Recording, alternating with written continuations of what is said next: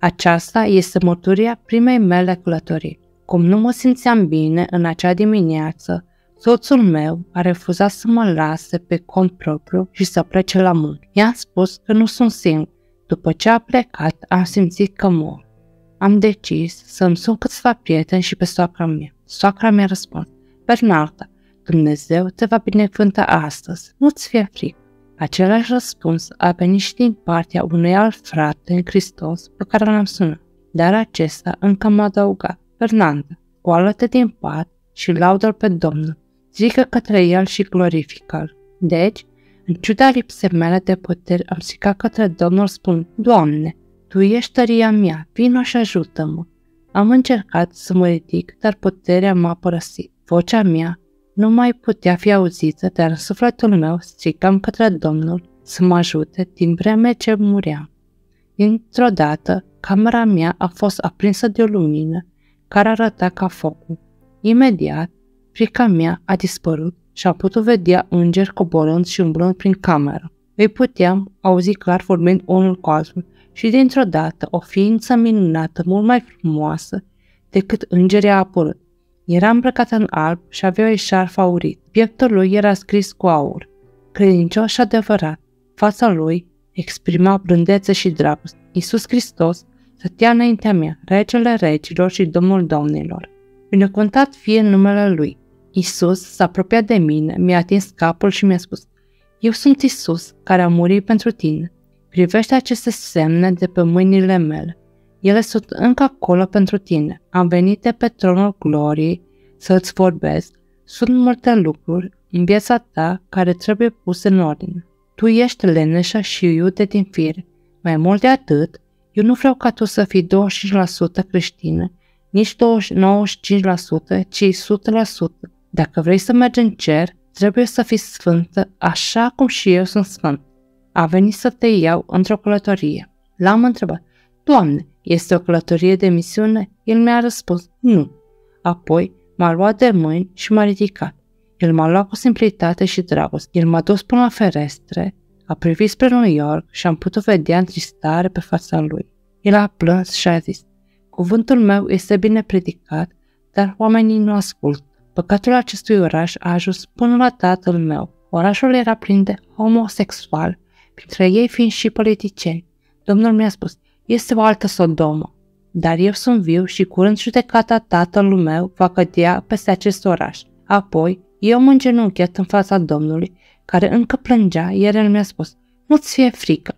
Când judecata Domnului va cădea peste acest oraș, biserica mea nu va mai fi pe pământ. Apoi, el m-a condus către patrul meu și mi-a cerut să-l sun pe un alt frate din adunare. Mi-a spus să-i spun că sufletul meu va ieși din trup și să nu ducă trupul meu la spital sau să facă vreo ceremonie funerară. În schimb, ei ar trebui să spună soțului meu să se încreadă în cel ce este înviere și viață. Ioan 11 cu 25.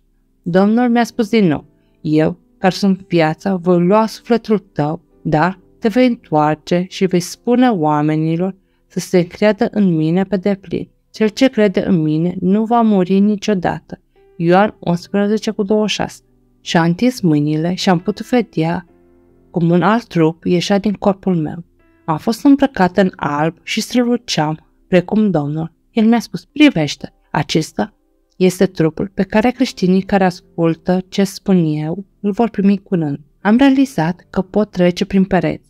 Domnul care mă ținea de mână mi-a spus, privește, iar când m-am întors, mi-am văzut corpul fără duh. El mi-a explicat că trupul meu fizic era fără valoare, nu era nimic decât praf, iar după moarte va deveni praf din nou ca orice trup fizic. Adăugat faptul că corpul pe care îl avea era unul de glorie, care este Duhul dat omului. Am crezut că mă va duce direct în cer, dar nu era cazul. Am coborât printr-un tunel în pământ și când ne-am apropiat de locul cu pricină, am putut simți un miros de nedescris. Am spus, Doamne, eu nu vreau să merg în acel loc, dar am intrat înăuntru. Locul acela era întunecat și nu se merita deloc să trăiești acolo. Am văzut oameni suferind, plângând și țipând. Când am ajuns la capătul tunelului, m-am așezat pe o piatră, iar domnul mi-a spus, privește, am văzut oameni suferind. În iad, oamenii își petrec timpul țipând, iar nimănui nu pasă de ceilalți. Dragi frați și surori, abia atunci am realizat că iadul este real. Am plâns și am plâns, iar când am privit pe Domnul mi-a spus, ține minte ce ai văzut și nu uita. În timp ce mă uitam spre iad, oamenii strigă, auci, auci, este pentru totdeauna, este pentru totdeauna, durere și ură în veci de veci. M-am uitat spre Domnul și l-am întrebat, este careva din familia mea în iad? El mi-a răspuns, nu-ți voi permite să-i vezi pe membrii familiei tale. L-am întrebat din nou, Doamne, este cineva pe care cunosc? Da, și îți voi permite să-l vezi. Deodată am văzut un tânăr venind din adâncurile iadului, era Alexander. Îl cunoșteam pe acest tânăr dintr-o cruceadă a soțului meu la care asistasem în Republica Dominicană. În timpul acelei cruceade am auzit o voce spunând Ridică-te, du-te și întâmpină pe Alexander, care trece pe aici. Spune-i să nu refuze acest mesaj pentru că îi dau o ultimă șansă. Aceea fusese vocea Domnului, deși nu-l văzuse. I-am spus lui Alexander ce mi-a spus Domnul. Așa mi-a răspuns el. Voi creștini sunteți proști, îi înșelați pe oameni, spunându-le că Iisus Hristos vine, iar eu, Alexander, nu cred că este adevărat. El mi-a spus, Alexander, Dumnezeu dă viața și el o ia când dorești. Alexander, în curând vei muri. El mi-a răspuns, sunt prea tânăr să mor, încă mai am ani bun pentru festivități pe acest pământ. Această șansă era bună și, într-adevăr, ultima pentru Alexander. Dragi cititori, ce știți voi despre voi? După trei săptămâni, Alexander a murit în timp ce era biat. Destinația lui a fost spre acest loc de tortură unde l-am văzut, iadul. Biblia spune clar că bețivii nu vor moșteni împărăția lui Dumnezeu. Galateni 5 cu 21. În timp ce mă uitam la oamenii din iad, l-am văzut pe Alexander cum era atacat de doi vieri mari. El strică, auci, auci, auci. El era torturat în iad. El m-a recunoscut și mi-a zis, am neglijat ultima șansă. Sunt aici astăzi suferind. Te rog, când ai să te întorci pe pământ, du-te la cei din casa mea și spun familiei mele să creadă în Isus Hristos și să asculte de cuvântul lui astfel încât să nu vină și ei în acest loc de tortură. Apoi, Domnul mi-a arătat mii de oameni care suferă în iad, iar el mi-a spus, vezi tu, mulți dintre acești oameni m-au cunoscut cât timp au fost pe pământ. Încă mai sunt mulți oameni pe pământ care umblă pe stradă fără să știe unde se duc. Este cunoscut că drumul spre cer este foarte strâm și va fi strâm din nou. Vor fi dificultăți pe pământ, astfel încât voi să fiți precum aurul curat, dar nu vă temeți, deoarece eu stau înaintea voastră ca un războinic puternic. L-am întrebat, sunt creștini în iad? El a spus, da, și știi de ce? Ei au crezut în mine, dar nu au mers conform cuvântului meu. Sunt mulți creștini din aceia care se comportă bine doar în templul meu, în fața pastorului și a familiei lor, dar se rătăcesc grozav. Ochii tatălui meu văd totul și el înțelege fiecare cuvânt oriunde ați fi. Spune poporul meu că este timpul să trăiască o viață sfântă pentru tatăl meu în fața diavolului și a lumii. Nu lăsați pe diavol să aibă vreun drept de mă acuza poporul și să nu lăsați lumea să-mi arate poporul cu degetul. Este timpul căutat pentru a da dovadă de sfințenie și consacrare. 1 Petru 1, 14 cu 16. A fost într-un loc care se afla un lac de foc. În timp ce ne apropiam de lac, am simțit un miros foarte urât, iar Domnul mi-a spus, ce vezi, acolo este un lac de foc, care este deja pregătit pentru diavol, profetul mincinos și anticrist. Nu am pregătit acest loc pentru oameni, dar toți cei ce nu cred în mine ca salvator și cei care nu trăiesc corpondant cu cuvântul meu vor ajunge aici. Apocalipsa 20 cu 14. În acel moment am văzut pe Iisus plângând, iar el mi-a repetat, sunt mai mulți pierduți decât cei ce merg în rai. Apoi, Domnul mi-a spus numărul persoanelor care mor într-un minut. El mi-a spus, privește, mulți sunt pierduți, biserica mea doarme, în ciuda faptului că ea a primit puterea mea. Ea are cuvântul meu și Duhul meu, sfânt, dar ea doarme. Pe pământ sunt oameni care predică despre asta că nu există. Du-te și spune-le că locul acesta este real. Eram foarte departe de acel loc, dar am putut simți temperatura. Am părăsit gropile și am mers în rai. În acel loc, Domnul mi-a arătat soarele și stelele și mi-a spus, privește aceste stele, pe fiecare o chem pe nume. Vezi acest soare, este puterea mea care strălucește pe amândoi, și pe cel drept și pe cel nălăciuit. Dar va veni o vreme când soarele nu va mai străluci, peste tot va fi întuneric. Am mers înainte și am ajuns la locul unde locuiește Dumnezeu. Acolo erau case frumoase. Pereții acestor case erau foarte înalți, din aur curat și pietre prețioase. Acolo erau 12 porți din perle, cu 12 îngeri la port. Am crezut că nu pot intra, dar Domnul s-a uitat la mine și mi-a spus, vrei să intri înăuntru? Da, Doamne, chiar vreau. Atunci intră, pentru că eu însă sunt ușa. Ioan 10 cu 9. În acel moment, am intrat printr-o poartă prețioasă și am văzut o grădină de flori magnifice. Vrei să intri în grădină? Atunci intră, pentru că eu am pregătit această grădină pentru tine și poporul meu. Când am pășit înăuntru, am început să culeg câteva flori și să aranjez câteva buchete. Alergam prin grădină ca o fetiță. Florile pe care le culegeam aveau multe culori și un miros foarte drăguț. După asta, Domnul a chemat pe cineva, era un înger puternic și frumos pe care nu-l pot descrie. Domnul mi-a zis, îl vezi pe acesta? El este Arhanghelul Mihail. El este cel care îmi conduce armata. Privește din nou. Am văzut o armată numeroasă pe care iar Domnul mi-a spus. Nu este armata umană, ci este a tatălui meu. Această armată este la dispoziția creștinilor care sunt cu adevărat născuți din nou.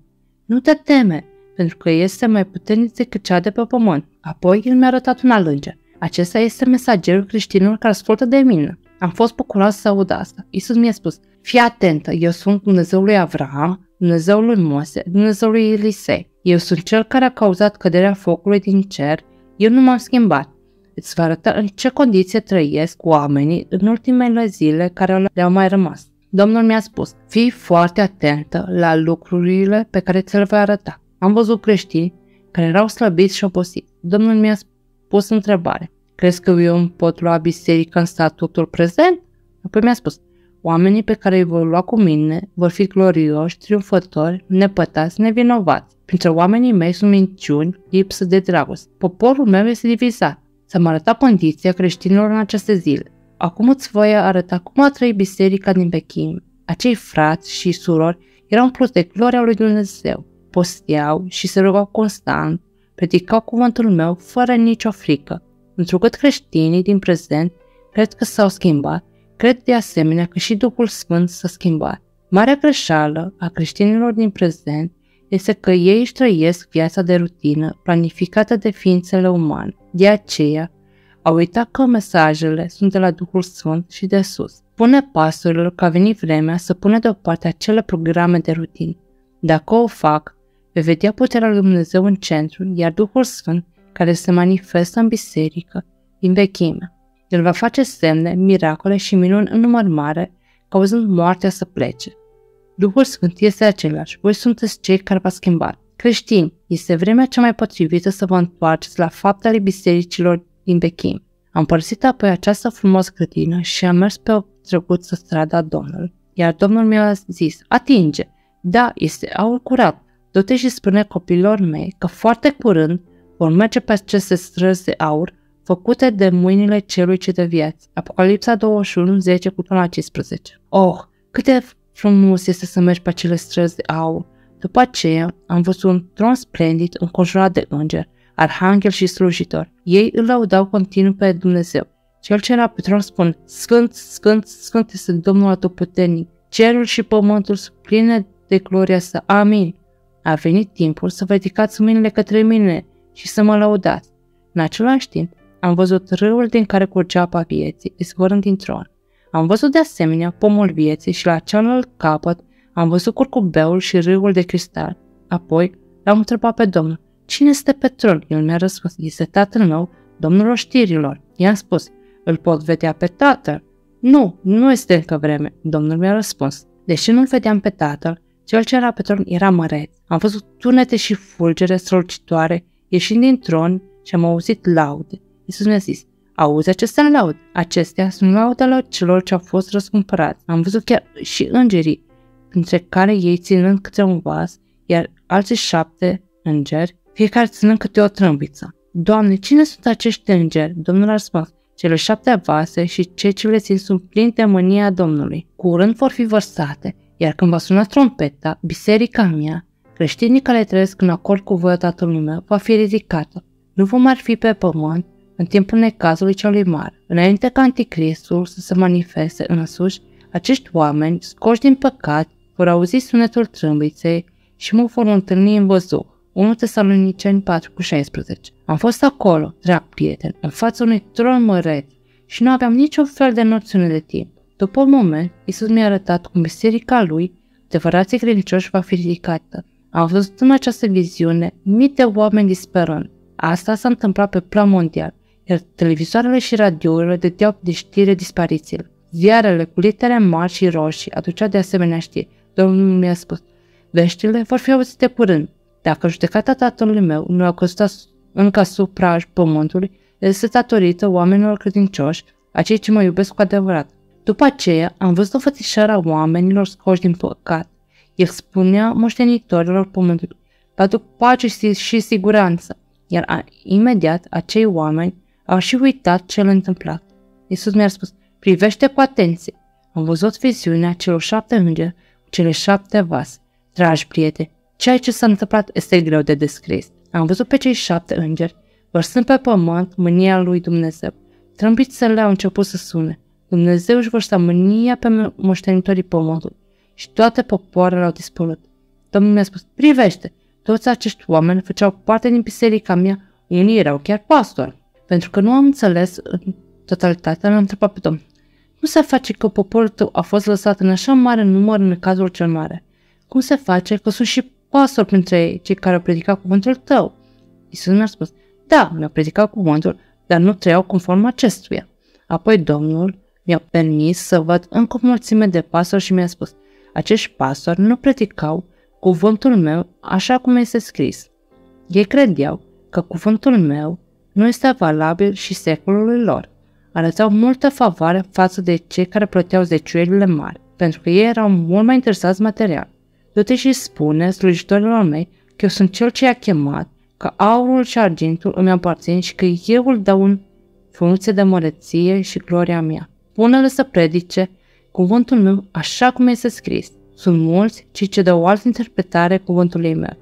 Cuvântul meu este cuvântul meu și nimeni nu-l poate schimba. Trebuie predicat așa cum este scris. Sunt mulți oameni, printre care voi, care alterează cuvântul meu spre propriul profit. După aceea am intrat mai mult în noul Ierusalim și Domnul mi-a zis, ce vezi tu în paradis? În paradis i-am văzut pe apostol și l-am întrebat pe Domnul, Doamne, unde este Avram?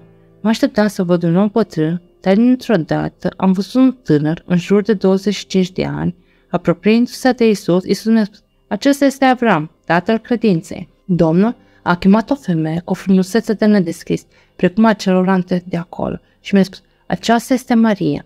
Du-te și spune tuturor că ea nu este regina cerurilor. Regele cerurilor sunt eu, regele regilor și domnul domnilor.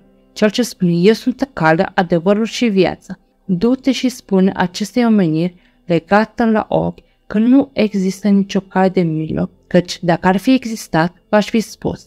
În schimb, există iadul, lacul de foc, prețiosul Ierusalim și paradisul pe care ți l-am arătat. Dar spune-le că nu există nicio cale de mijloc, spune-le că este o minciună a diavolului, nu există nicio cale de mijloc. Apoi Domnul m-a condus spre niște coroane păstrate. Aici sunt coroanele vieții. Domnul m-a întrebat, tu le vezi? Am văzut biserica mea locală, prin și acele comunități, că cântând și predicând, apoi l-am întrebat pe Domnul, de ce numele credincioșilor din adunarea mea nu sunt scrise în această carte?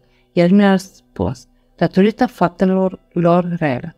După aceea, Domnul mi-a permis să mă întorc acasă. Acum voi povesti despre cea de-a doua călătorie. Într-o zi, eram la o întâlnire de rugăciune. Eram 20 ca număr. Ca de obicei, am început să lăudăm și să-L preamărim pe Domnul. Dintr-o dată, am simțit prezența Domnului. Era atât de puternică ca și cum ne-am fi aflat în țiorul salilor. Îmi amintesc că mama soțului meu care era bine avansat în vârstă și foarte devotată în lucrul Domnului, a venit și mi-a spus, Fernanda, hai să lăsăm gălăgia la o parte în timpul laudei, pentru că vom face multe gălăgie. Avea dreptate, pentru că gălăgia sună precum căderea unei cascade. Când eram pe cale să-i rog pe frate să lase gălăgia la o parte, am auzit pe Domnul spunând, nu spune nimic. În lume, când oamenii fac gălăgie, nimănui nu-i pasă de ce ar trebui de să vă opriți voi din laudă. Am continuat apoi să laudăm și să glorificăm pe Domnul. Și am simțit apoi că ceva măreț se va întâmpla. Dintr-o dată mi-am mai amintit ce mi-a spus Domnul în prima mea călătorie. Voi veni din nou după tine. Dintr-o dată am văzut o lumină măre- măreață inundându-mi casa. Frații au văzut de asemenea lumină și au îngenunchiat cu toții înaintea acestui adevăr și credincios Dumnezeu. Nu am știut ce să fac și am rămas doar nemișcat. Lumina a devenit și mai strălucitoare și a luat formă un om. Îl aveam înaintea mea pe Domnul Isus, a cărui înfățișare era frumoasă și plină de dragoste. Pe pământ nu am văzut niciodată atâta frumusețe pe fața unui om. El a venit mai aproape de fiecare frate. În timp ce aș fi vrut să spun fraților că Domnul venise pentru mine, am început să vorbesc în limbi. Domnul a venit aproape de mine. Doar când m-a privit, sufletul mi-a părăsit corpul. Eram în aer și vedeam ce se întâmplă în casa mea. Am văzut oameni sunând la suneria ușii mele, iar când soțul meu s-a dus să răspundă, doi polițiști erau la ușă. Poliția a spus, am auzit că o doamnă a murit aici, de aceea am venit. Soțul meu a răspuns că nu. Aici se întâlnise doar ca să-l laude și să-l preamărească pe domnul. Polițistul nu a crezut de fapt, dar nu au putut intra. Ei au spus, ok, continuați, dar să nu faceți prea multe călăgie. Eram în aer când am văzut toate acestea. Isus m-a luat de mâini și m-a dus în Venezuela și în Mexic. Eram în aer, dar am văzut oameni implicate în magie, fetism și vrăjitorie. În Mexic am văzut oameni care se adunau pentru a-i lăuda pe demon. Domnul mi-a spus, mărimea acestui păcat a ajuns până la tatăl meu. Primul semn pe care îl dau ca locuitorii acestei țări să nu se po- nu, acestei țări nu se pocăiesc și nu se întorc la mine. Când m-am întors pe pământ, mărimea acestui păcat a ajuns până la tatăl meu. Primul semn pe care îl dau ca avertizare acestui oraș este să-mi cutremur în Mexic. Dacă locuitorii acestei țări nu se pocăiesc și nu se întorc la mine. Când m-am întors pe pământ, am plecat la Mexic și am răspândit mesajul. Oamenii nu m-au ascultat și recent a fost un cutrem teribil în Mexic. Când eram încă în aer, Domnul mi-a spus că mâinile tatălui s-au întins împotriva locuitorilor pământului. Am văzut marea cu valuri cicatrice, asemănătoare unui monstru. Am văzut de asemenea uragane pe pământ. Am întrebat pe Domnul, Doamne, ce se va întâmpla cu creștinii când toate acestea se vor întâmpla? El a răspuns, tu te și spune că celor ce îmi sunt credincioși, că niciun fir de păr nu le va fi atins. După aceea, Domnul m-a dus într-un alt loc. Am văzut locul unde pământul era despicat. Domnul mi-a zis, multe popoare vor fi șterse. Am părăsit acel loc și am plecat într-un altul unde apele erau în mișcare. Am fost prin apele acestea printr-un tunel și am ajuns în adâncurile pământului. Am văzut uși mărețe. Nu erau asemănătoare celor pe care le-am văzut în prima călătorie. Pe aceste uși erau lanțuri mari. Domnul a mers spre acele uși și după ce a îndepărtat lanțurile, m-a condus prin tunel. Frați și surori, am văzut mii de oameni cu capetele plecate și hainele rupte. Erau înlățuiți cu lanțuri mari, al căror scomote te sursea. Apoi mi-a spus, Doamne, ce înseamnă aceasta? El mi-a răspuns, toți acești bărbați și femei sunt în drumul lor spre iad. Între toți aceia care erau în drumul lor spre iad, l-am văzut și pe fratele mai mic al soțului meu, Adolfo. El era un om dificil, care se căsătorea și divorța când avea chef și obișnuia să-L blesteme pe Dumnezeu. Am început să rog pe Dumnezeu să mă las să mă întorc pe pământ, să îl avertizez pe Adolfo că merge în iad. Dar Domnul mi-a răspuns. Din nou, i-am văzut pe Adolfo și pe soția sa mergând printr-un tunel. Se aflau la marginea iadului. L-am rugat din nou pe Domnul să mă lasă să mă întorc pe pământ și să spun oamenilor ce am văzut. Domnul și-a ridicat mâna și a zis, du-te și spune-le că timpul s-a apropiat. El a spus din nou, mii de oameni vor merge în iad, în timpul Adolfo la sfârșit va muri. Când am revenit pe pământ, natul meu Adolfo nu a vrut să schimbe modul de viață.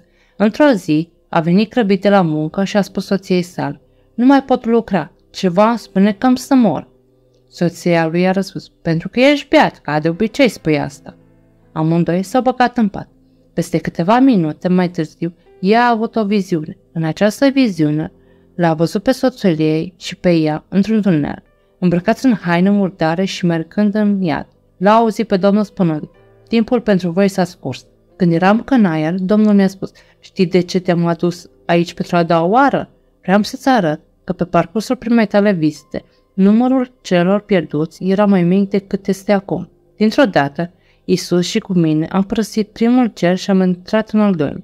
Când am ajuns în al treilea cer, am văzut îngeri zbuiciumându-se într-o parte și în alta. Apoi am întrebat pe Domnul, de ce sunt acești îngeri în mișcare? Isus a răspuns, este adevărat că îngerii mei sunt în mișcare în acest loc, dar îți va arăta de asemenea cum pământul este în mișcare. Fii atentă, pentru că mulți demoni au invadat pământul. Diavolul este furios pe creștini, pentru că lui i-a mai rămas puțină vreme. Domnul mi-a permis să-i văd pe acei demoni cu o furie teribilă și mi-a spus, acești demoni pe care îi vezi sunt demoni de adulter.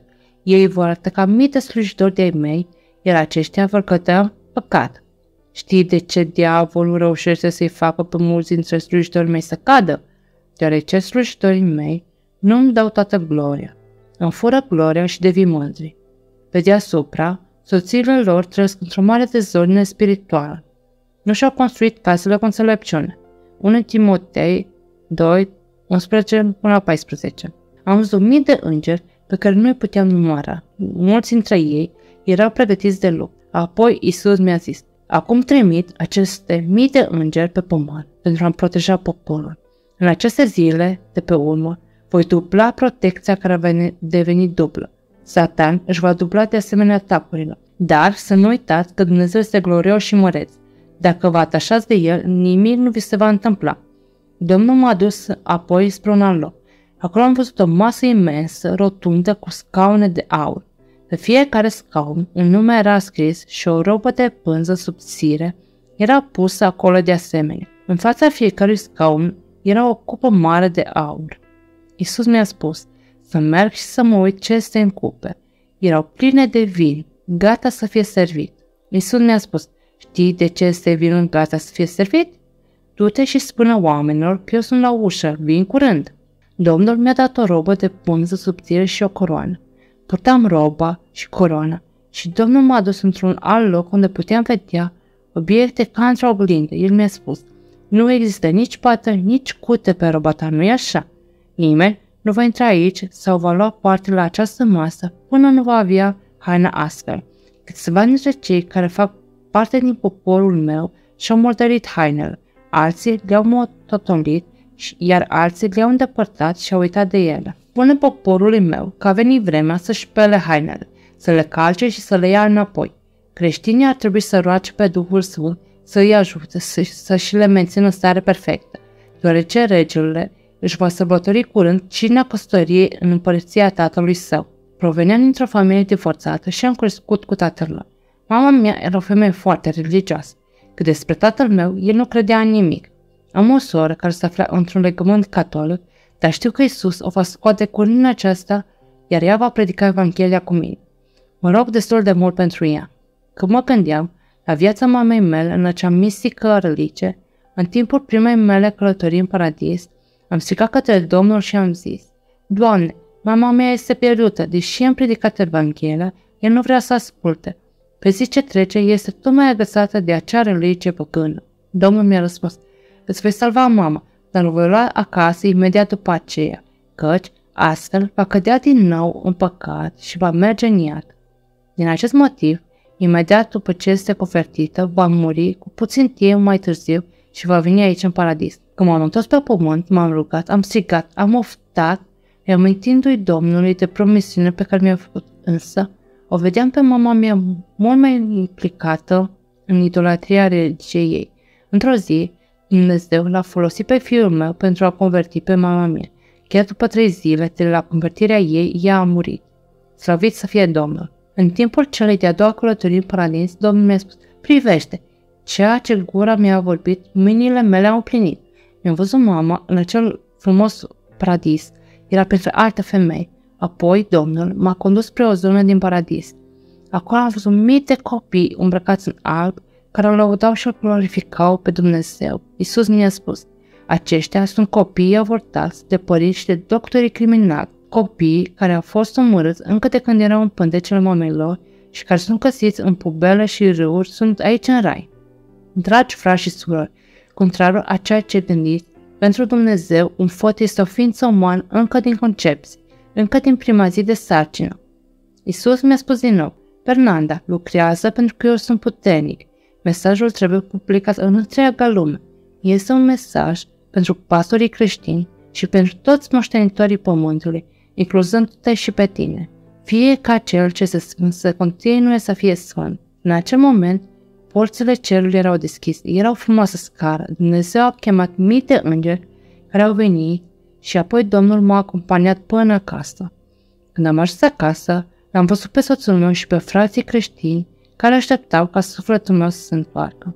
Am privit spre corpul meu fizic care îmi rămăsese pe pământ și am spus Domnul că eu nu mai vreau acest corp în continuare. Domnul mi-a zis, nu te poți întoarce în cerul cu mine pentru că încă nu ți-a sosit ceasul. Trebuie să spui mai întâi oamenilor ceea ce ai văzut pentru ca ei să se pregătească. Cu o voce puternică el mi-a spus, intră și primește viață, eu sunt vierea și viața. Cel ce crede în mine, chiar dacă va muri, va avea viață. Ioan 11, 25 până la 26